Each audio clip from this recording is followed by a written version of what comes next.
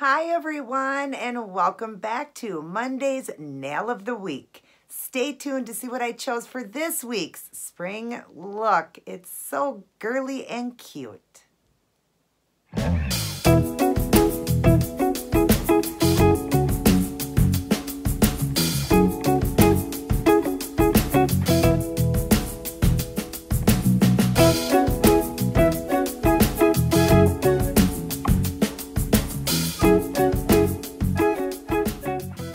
Welcome, everyone. Great to see you and great to be back in doing another Nail of the Week design. It's Monday, a fresh new week, and we all woke up this morning, so praise God for that. And wait till you see this adorable, cute, girly nail design. Check it out.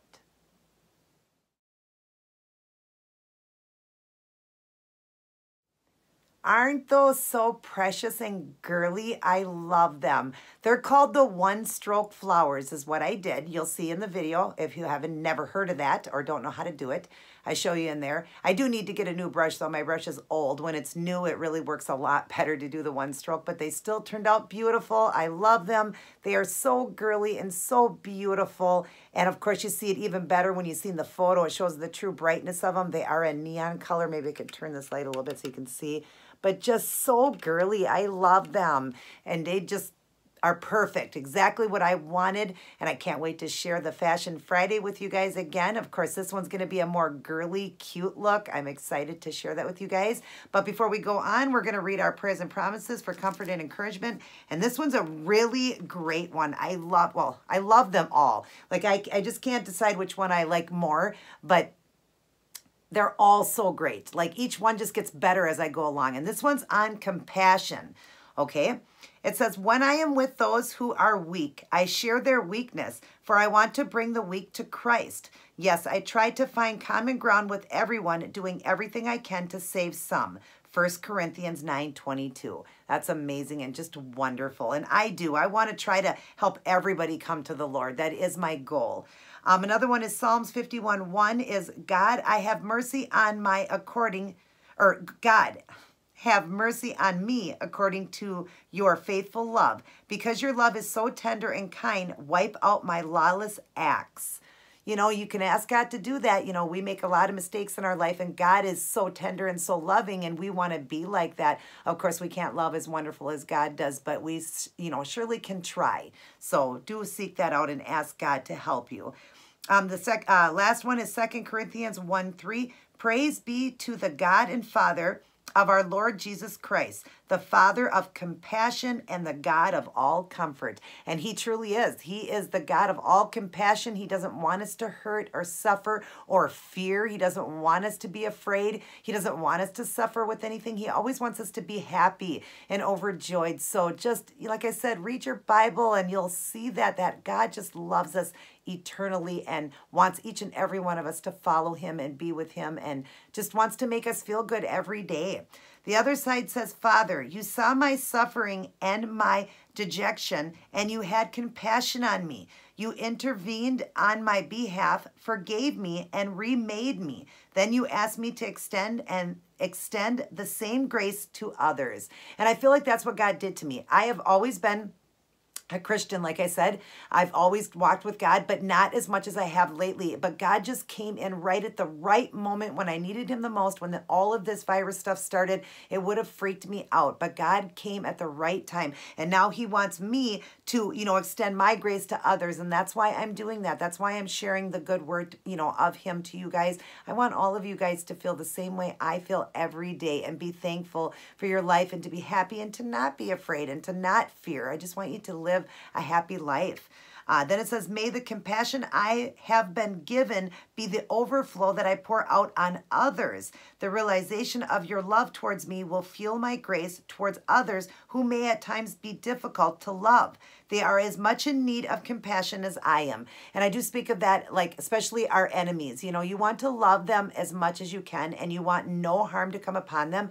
And obviously, if they are an enemy or they don't like you, they're not liking their life. That's the problem. They're not happy in their life. And so we want to pray for them, for them to be happy in their life. And I definitely want you guys to do that. Don't turn against your enemies. No, you don't have to be their best friend, but pray for them daily and love them and ask God to be with them and, you know, share that same joy. Ask God to give them the joy that you feel. You know, you don't want them to feel bad. They're an enemy because they have a jealousy towards you or because they are hurting in their life. And that's why they become an enemy. Now, I'm not claiming, you know, I have enemies, but I'm sure I do. Uh, everybody does. The devil likes to steal, kill, and destroy. So he will send people in your life that will turn against you and not love you. Um, but you want to have compassion for them too. So love everybody. Love even thy enemy. That's what will give you more joy. When you're loving a person that, you know, doesn't love you back, gives you more joy than loving somebody that loves you. You know, what joy do you get out of that? You get more joy when you're loving somebody that doesn't love you. You know, you will feel a lot better inside. The last thing it says is, how can you be more compassionate how can you be a more compassionate person? And I know that I can. I know that I can definitely grow even more compassionate to others. I believe the way I can do it is continuing to, you know, teach good stuff to you guys, to pray more for that compassion. I can ask God to give me more compassion and more love for others. I know that I do love big, but I know that I can love even bigger because if God can love as big as He can, I know that we can grow our love bigger and bigger. So I, I would say praying, praying to God to ask for more compassion, you know, and more love for others. That's what I would say that I would ask ask God to help me with. Like I always tell you guys, start the day, go through your day and end your day with God. Spend time alone in a prayer room, uh, writing scripture down, reading scripture, uh, sharing the good word with a lot of people, as many people as you can. We need to help everybody come to the Lord, and it's our job as Christians to do that. So, like I always say, please, you know, keep that faith. Don't be afraid. Don't be afraid of God. Never be ashamed of God. If you're ashamed of God, He'll be ashamed of you. So don't be ashamed of Him. Preach that good word and tell the world about it. And today uh, could have been a more better day. Um, I heard what President Trump had said about all the churches are open, um, that, you know, it should have never been a place of, you know, that they closed. It should have been an, in an essential uh, place to go because many people want to be able to be into the house of God and pray. I mean, you got the blood of Jesus on you in there. Ain't nothing going to hurt you. And all of your pastors will have compassion and keep things clean. I know we are returning back to church and I'm just excited about it. But I dropped to my knees today when I heard President Trump say that, that it's not fair that they'll keep open, um, you know, uh, abortion clinics and uh, um, liquor stores. They were essential, but God wasn't. That was definitely the work of the devil. So Thank you, God, and thank you, President Trump, for saying what you did and opening up all the churches. We all need to be in the house of God. Remember that. We need to be there. And everything will be fine, especially when you're in the house of God. I actually am inviting a neighbor with me too, and I'm so glad that she's going to come with. Um, I invite all of you guys get back into church. Your church is open now, so if your church is open, if they did open it, get back into church. That's where you need to be. God's always going to be with you. He's going to keep you. That's going to be the safest place to be. Definitely the safest place to be. So, anyways, this design don't want to sit and talk so much, but I, I could talk all day about God. I really could. So I hope that's okay with you guys. But anyways, this design, I love the way it turned out. I love the girliness of it. I love how cute it is. Uh, there's going to be a toe design that will match. And of course, Fashion Fridays, outfit of the day. I hope all of you guys are staying safe, happy, and healthy. I pray for each and every one of you always. And if you're new to my channel, right there is my red subscribe button. Subscribe to my channel. Hit the notification bell so you're notified of all of my new uploads. Share around my channel uh, I'm going to do the thumbs up. Share around my channel so I can grow bigger and bigger and help many people with the Lord and with the keto since I teach the keto diet. And definitely shoot me a thumbs up if you enjoyed this adorable, cute, cute nail design of the week for spring. I love the way it turned out. I love you all so much. God bless. Take care. And I will see each and every one of you in my very next upload. Now, onto this adorable one-stroke flower look.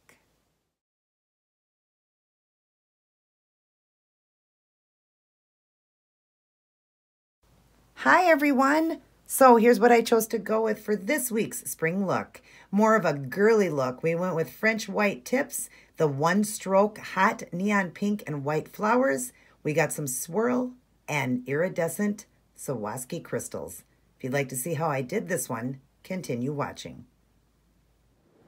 Hi everyone and welcome back to Nail of the Week. Excited to be doing another brand new look for the spring and this one's going to be more cute and girly. The last look was more romantic and beautiful and this one's going to be more girly and cute and adorable. I'm excited.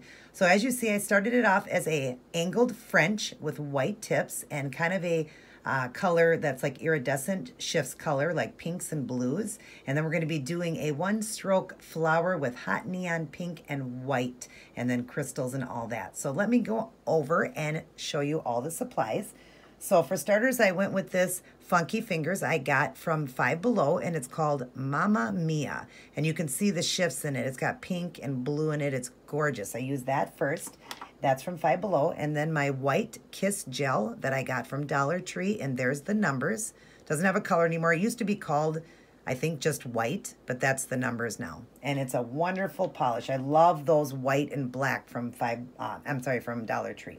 And then I dried everything up with the Seche Vite Dry Fast Top Coat so that when I do the art, if I make a mistake, then I can go over and, um, you know, fix it without having to take off all the polish. So you always want to have a top coat on, especially working with acrylic paints. If you're working with polish, then you're going to have to take it all off.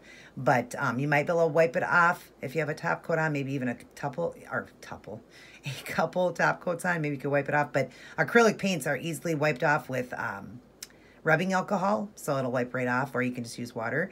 Um, but basically, the alcohol works better in a Q-tip. So I've left one finger open, though, because I'm going to show you how to do that French uh, angle that I did there. And then I'll be working, like I said, with acrylic paints. I've got a hot neon pink and a white, both by Apple Barrel, both from Walmart for 50 cents. There's the white.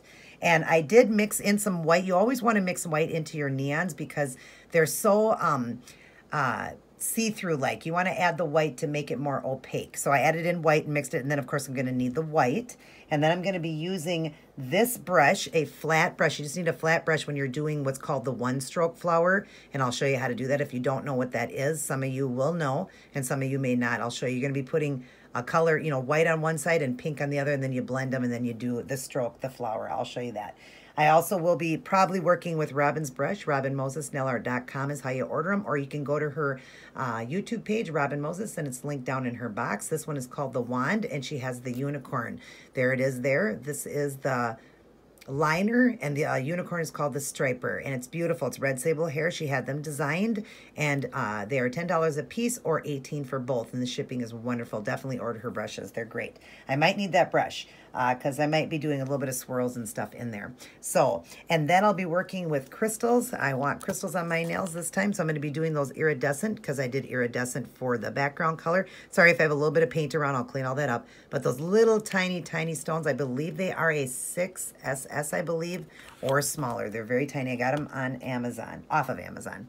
And then I will glue them down with the ASP glue after I get the flowers in. I'll be using an orange wood stick to put them on and then we will top everything off at the end with another coat of the Seche Vite Dry Fast Top Coat I get from Amazon, or you can get it from Sally's or Walmart. So I am going to get set up here and get ready to show you guys this angled French white part first, and then we'll go on to the flowers. All right, I've got these beautiful one-stroke flowers on. Aren't these gorgeous? They give you the feel of kind of like a Hawaiian lei, I love them. Aren't they beautiful? And then we're going to put the crystals in the center. Now, we're not doing a full flower going all the way around. I'm just kind of doing it halfway, but I'll show you how I am doing this. All right, we're going to draw in. Here is my palette. I've got the brush. I'm going to clean it off here because I want to start fresh with this brush because I had a lot of paint on it. So here's your brush. It's nice and flat. You want to make sure it's flat, okay? And you're going to dip one side into the pink. So I'll show you when I dip it. See how it's just on one side and then you're going to dip the white on the other side. So then it's got pink and white. You see that?